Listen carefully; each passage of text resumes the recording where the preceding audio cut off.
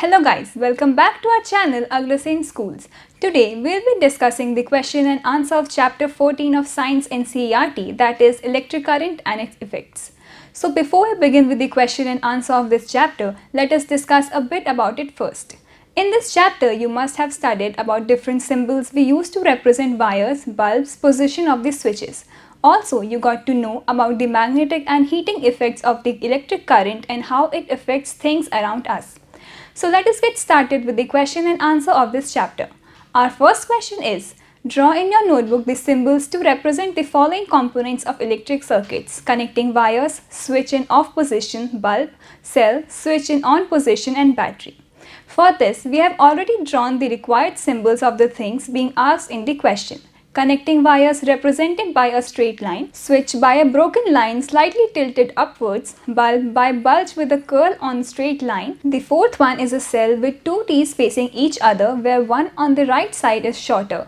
Switch on position is shown by the broken line being joined by placing another line at the top and lastly as battery by way of a collection of cells. So now just take a note of this and draw the same on your notebook. Our second question is Draw the circuit diagram to represent the circuit shown in the figure. In the image, we have a bulb, a battery and a safety pin. Battery and bulb are connected, for the bulb and safety pin are in connection, but the battery is not connected to safety pin. So the safety pin represents a switch that is in off position. This makes it an open circuit. So the circuit diagram of this is to be drawn is something like this. We have a bulb, a cell, connecting wire and an open switch here.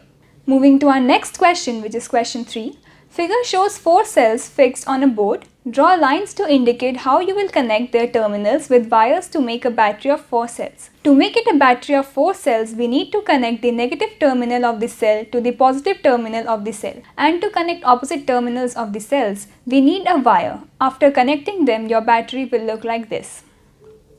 Question number 4 is, the bulb in the circuit shown in figure does not glow. Can you identify the problem, make necessary changes in the circuit to make the bulb glow? On careful study of the diagram, we can see that both the cells of the battery are connected to the same terminal positive to positive which is wrong. The bulb will glow when the negative terminal of the cell is connected to the positive terminal of the other cell. So we need to change the position of the cells to make the bulb glow as done in the diagram shown. Coming to question 5 which says, name any two effects of electric current. The first effect is heating effect of electric current. When an electric current flows through a wire, the wire gets heated. It is because of the heating effect of electric current. Also, when an electric current flows through a wire, it behaves like a magnet. So, the second effect is magnetic effect of the electric current.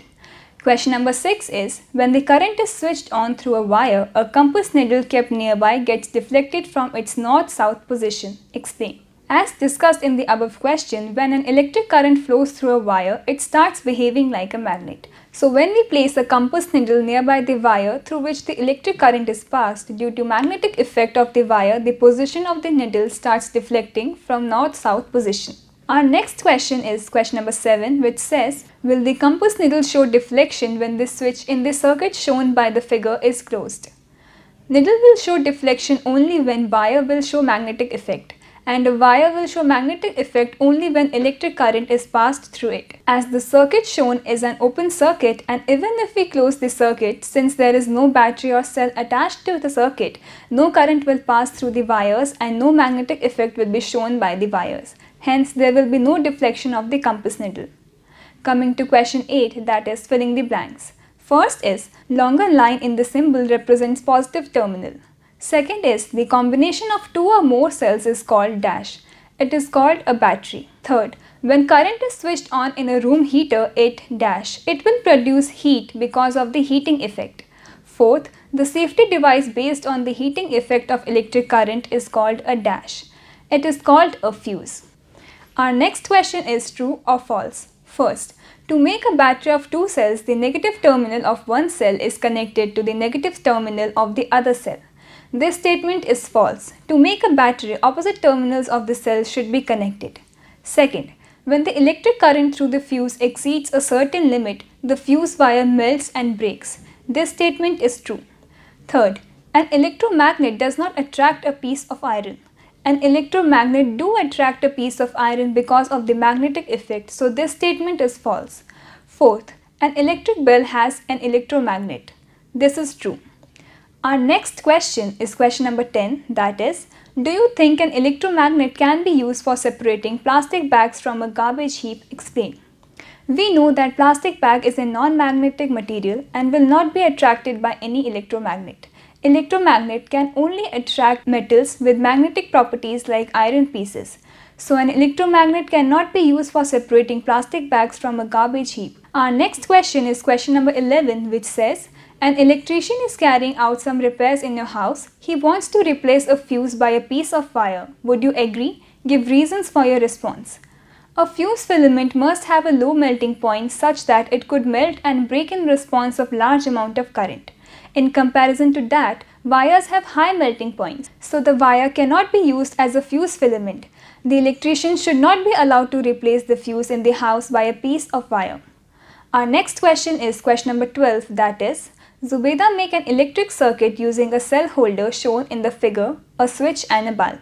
When she put the switch in the on position, the bulb did not glow. Help Zubeda in identifying the possible defects in the circuit. In this figure, we are provided with two cells that have been connected in a cell holder using a rubber band. The first possible defect can be the rubber band. Rubber band used in the cell holder may not be tight enough to keep the two cells in contact with each other. As we know, if the cells are not in proper contact with each other, the circuit will not be complete and current will not flow through the circuit. Hence, the bulb will not glow. The second reason may be as it is not clear which terminal have been connected to each other, we may check the negative terminal of one cell is actually connected to the positive terminal of the other cell. On rectification of these two things, it's probable that bulb will glow. And now our last question that is question 13. In the circuit shown in figure, would any of the bulb glow when the switch is in the off position? No, none of the bulbs will glow when the switch is in off position if there is any flow of current through the circuit, then only the bulb will glow.